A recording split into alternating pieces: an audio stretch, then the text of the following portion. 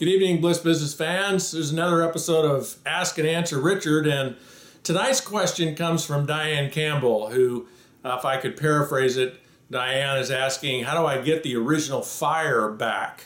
The original blind enthusiasm that caused me to leap over my fear of rejection and my fear of failure and dive into a business perhaps I don't know anything about or I've never done before.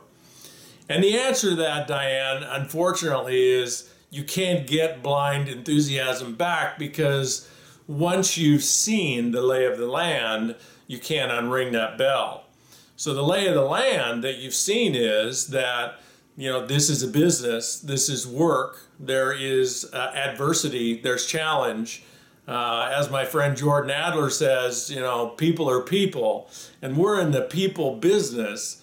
So, not everybody's going to be on fire. Not everybody's going to have integrity. Not everybody's going to be productive. Not everybody's going to keep their word. Not everybody's going to build the business with you.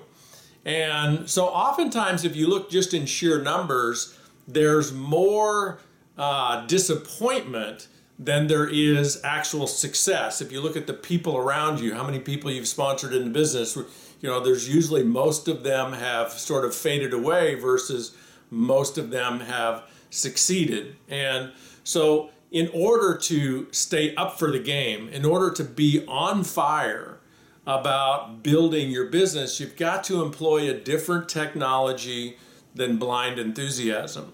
And that technology, I believe, is self motivation.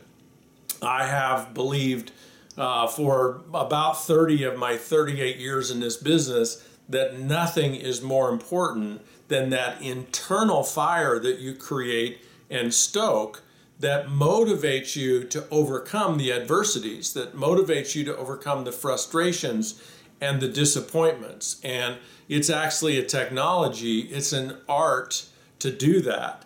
And the art is to basically learn how to create a story, a story in your mind that you learn to fall in love with, that you learn to believe in, and a story that you carry with you every day.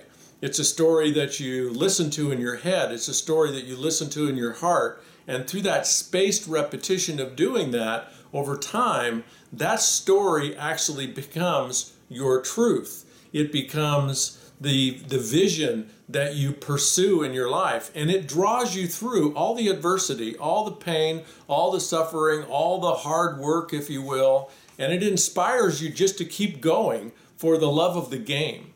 So, the answer in short, Dianne, to your question is if you want to create sustained internal motivation for the rest of your career, master the art of personal vision and self motivation.